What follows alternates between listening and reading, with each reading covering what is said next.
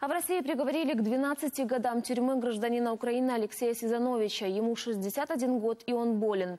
Но Северокавказский военный суд увидел в нем террориста, который якобы готовил теракты в Ростовской области. Пенсионера также обязали заплатить штраф 250 тысяч рублей.